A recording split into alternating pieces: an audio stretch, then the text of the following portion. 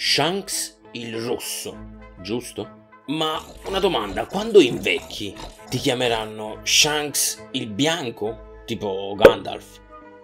Ha ragione, cazzo. Tutti mi scambieranno per quel fottuto mago. O pensi anche tu che Oda abbia intenzione di farti morire giovane? Eh?